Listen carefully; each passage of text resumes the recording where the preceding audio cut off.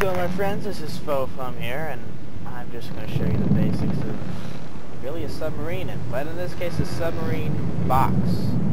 Okay, so what you need is a airtight space. So in this case, I'm going to change the view here so you can see. I just have a big wooden box. It floats, it works fine, but inside here we have the space. Okay, perfect, right? As we go down, we check out the bottom. I just put a bunch of lead here, just to weigh it down. And uh, let's see, this is with the buoyancy activated here, the air pump. So you place the air pump in this airtight space and seals it off, and all this air, the volume here, will allow your submarine, your boat, your box, whatever it is, to float. So say when I turn the buoyancy off, so it's no longer, say, harnessing air, this should just start sinking, as you see. Literally just sinks, and that's how you make the basic submarine. Let's turn this back on. It may take a bit, but it should in fact start floating up at a point. See, I made this in simple, simple video just to show the very basics of how the submarine will work.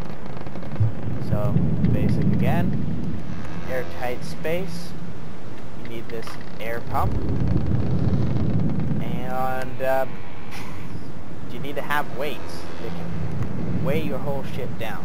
But make sure that your ship, your sub, can actually stay afloat enough while the air pump is active.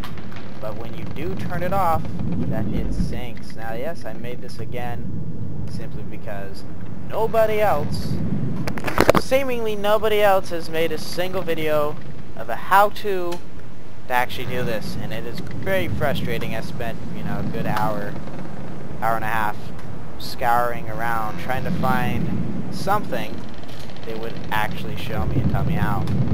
But I just kind of figured it out on my own.